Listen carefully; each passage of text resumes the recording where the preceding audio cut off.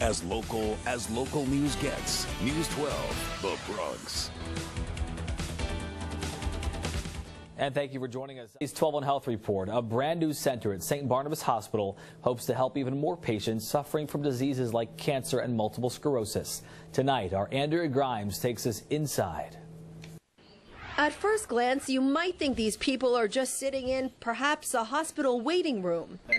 But they're not. They're actually getting IV treatment for a variety of illnesses at St. Barnabas Hospital's brand new infusion center. I think if I wasn't getting the treatment, my mind would be in a different level. Bronxite Christopher Morales was diagnosed about a year ago with multiple sclerosis. He first started a treatment called Tysabri at the hospital's old center across the street. This place is bigger, is better. The center treats people who need medication intravenously. The new location can host about 30 patients a day in 10 chairs, double the old amount.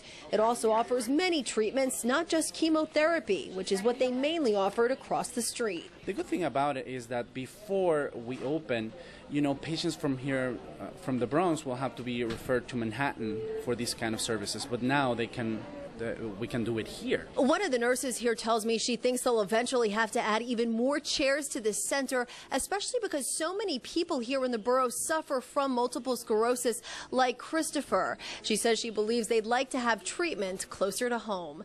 Reporting from St. Barnabas Hospital, Andrea Grimes, News 12, The Bronx. And the News Center also has a pharmacy and a lab. For more information, head on over to news12.com and click on numbers and links. I'm Matt Piper. This is News 12 The Bronx. Still ahead in sports.